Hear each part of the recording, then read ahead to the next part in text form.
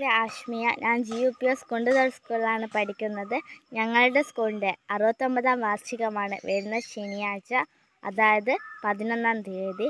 എല്ലാവരും ഞങ്ങളുടെ സ്കൂളിലേക്ക് സ്വാഗതം ചെയ്യുന്നു. G U P school Kunduthode വാർഷികാഘോഷവും കെട്ടിടോദ്ഘാടനവും ഇരുപത് ഇരുപത്തിമൂന്ന് മാർച്ച് പതിനൊന്ന് ശനിയാഴ്ച വൈകിട്ട് നാല് മുപ്പതിന് Shri E K Vijayan M L A ഉദ്ഘാടനം നിർവഹിക്കുന്നു.